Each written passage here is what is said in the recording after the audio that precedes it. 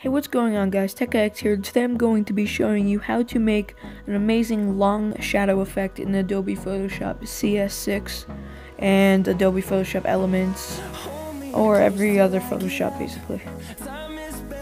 So once you type out any text, you're going to hit Control J. That's going to duplicate the text and move it under the text itself. Then you're going to reset their type. After that, you're going to hit Control U and it's going to bring you to this menu and turn the lightness all the way down so it's black. Then go ahead and duplicate the duplicate and you'll have a second layer. Now I'm going to zoom in to make it easier. And now you want to go ahead and select the duplicate and use the arrow keys. So put the arrow key down and then to the right and then hold Control E to merge the layers and then hit Control J again. Arrow key down to the right, Control E, merge the layers, and do so until you have a good enough shadow. So I got a big enough shadow now, so I'm going to zoom out now. And what I'm going to do is hold Control J, and now I'm actually going to drag the shadow and line it up with each other. I'm going to zoom in for convenience again.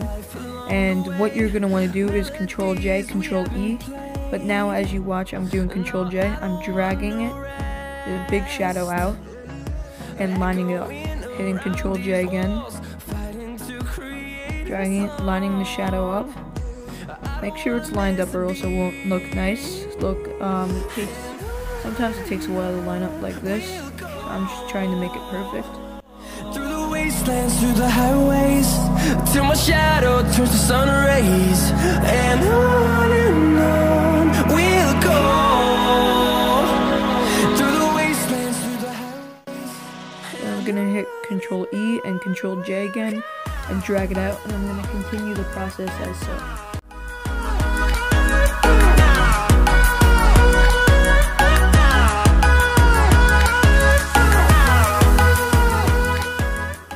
You brought it near the end of the file, then you're to want to put and merge all the shadow together and go to your paintbrush. Then you're to want to set the paintbrush the color of your background and use the paintbrush that I'm setting right now and use a pretty big brush, a size around 250 and you're just to want to lightly stroke back and back on near the bottom of it to give it a little fade and more of a shadow feel. So just lightly stroke on the back and front near the sides like so to give it a nice, nicer feel. Finally go ahead and select the brush and go to blending options and change the opacity to a point where it looks good for you. So I'm setting it around 70 or 80 as you can see here and it looks a lot nicer like that and yeah, that's gonna do it. Anyways, guys, thank you for watching. Make sure to subscribe. I'll make sure to do more of these tutorials. And I'll see you in the next one.